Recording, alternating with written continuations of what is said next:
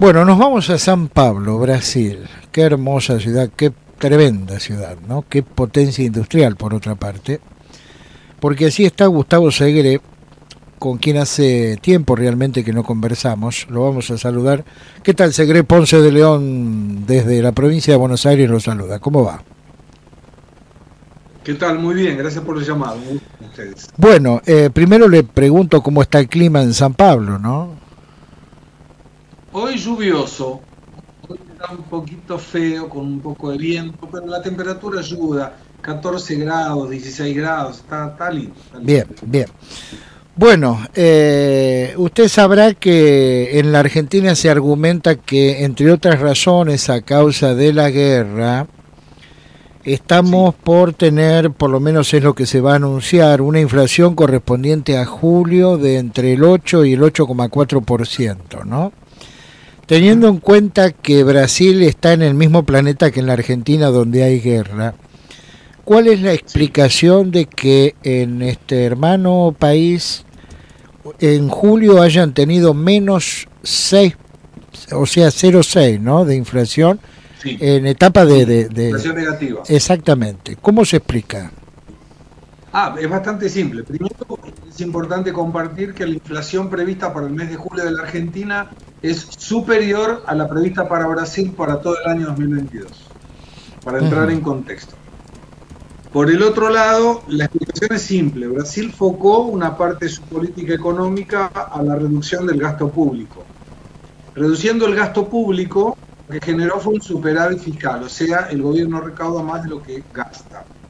Cuando te sobra plata en el Estado, no hay necesidad de emitir moneda no hay necesidad de emitir títulos de la deuda y no hay necesidad de aumentar la carga tributaria, al contrario. Brasil lo que hizo fue bajar la carga tributaria, por ejemplo, para los combustibles, y eso generó que baje el precio de los combustibles en julio el 15.4%. Bien. Cuando baja el precio del combustible, baja el costo logístico, y al bajar el costo logístico, baja también el precio de venta de los productos. Cuando baja el precio del venta de los productos, con la misma ingreso, con el mismo sueldo, la persona puede consumir más unidades y al consumir más unidades se necesita más producción. Al necesitar más producción se necesita más mano de obra. Y la generación de empleo genera que más gente consuma. Entonces se entra en un circuito virtuoso donde la recaudación aumenta sin necesidad de aumentar la carga tributaria. Tan simple, tan simple como esto. ¿Cuánto recaudas? ¿Cuánto gastas? Digo, tan simple como esto. Es simple. La economía es una ciencia muy simple. El problema es que generalmente los gobiernos populistas no entienden de economía y justifican su fracaso echándole la culpa a terceros, la guerra, la pandemia. Bien, ahora, ¿cómo, ¿cómo ha impactado la guerra propiamente dicha en, en, Brasil? Prácticamente nada. Brasil neutralidad y eso permitió que se provea de fertilizantes de Rusia y grano de Ucrania no peleó con ninguno, no tomó ninguna posición. Desde el punto de vista personal fue muy atacado Bolsonaro por esta situación, pero desde el punto de vista estratégico, sin ninguna duda, fue un acierto. Bien. Ahora, eh, ¿cómo se puede ensamblar ese tradicional y necesario comercio entre Argentina, Brasil, Brasil, Argentina a través del Mercosur con esta disparidad inflacionaria?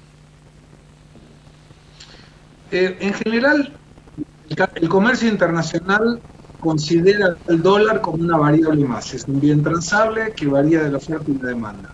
Nadie deja de comprar porque bajó el dólar, nadie deja de vender porque aumentó bajo el dólar. La diferencia, cuando tenemos indicadores como la inflación, que son tan dispares, es que Argentina tiende a perder competitividad porque pierde los precios relativos, se pierde la esencia de cuál es el costo y cuál es el precio de venta de un producto determinado.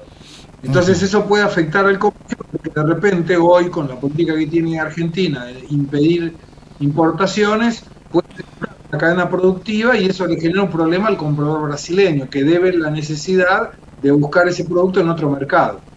Si hay otro mercado que le vende el producto, Argentina deja de ser atractivo por la falta de lo que sería de compromiso, perdemos un mercado como el brasileño pero nuevamente la afectación de responsabilidades del Estado, no del empresario que no puede importar insumo y por lo tanto lo puede producir. Bien.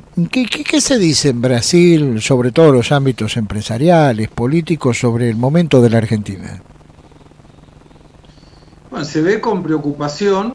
El gobierno Bolsonaro lo ve como la antítesis de su propuesta, con lo cual todo lo que ocurre de malo en Argentina le sirve para la campaña política, ¿no? Es decir, mirá lo que pasa cuando hay un gobierno populista de izquierda como en Argentina y es la opción de Lula en Brasil. Entonces le sirve demostrar qué es lo que puede ocurrir. De cualquier manera, eh, obviamente los electores acompañan un poco lo que ocurre en otras partes del mundo y Argentina en particular, pero le importa mucho lo que ocurre acá. Y acá los indicadores están mejorando, entonces eso claramente puede ayudar a una eventual reelección del presidente Bolsonaro. Bien, es decir, somos una suerte de, modelo, de ejemplo, pero negativo, en este caso para, para los brasileños. Negativo, exactamente. Bien. Exactamente. Bueno, por último, ¿cómo está esa, esa dura lucha no política eh, preelectoral entre Bolsonaro y Lula? Las encuestas dicen que Lula gana, salvo alguna que salió ahora el domingo, la primera, que dice que Bolsonaro está adelante.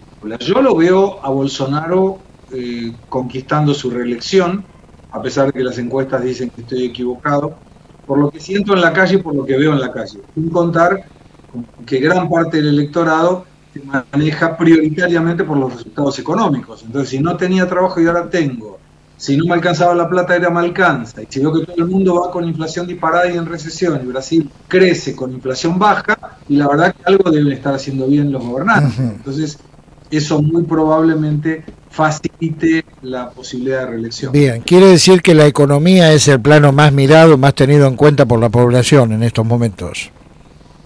La economía, la seguridad, la educación y la salud. Y en cuanto a la economía la seguridad, Brasil está teniendo el menor índice de homicidios en los últimos 15 años. Qué notable. Entonces, claramente interesa mucho. Muy bien, estamos escuchando a Segre desde San Pablo en Brasil. Eh, Gustavo, ha sido un gusto escucharlo nuevamente. Eh. Le enviamos un saludo y muchas gracias. Que siga muy bien, hasta luego.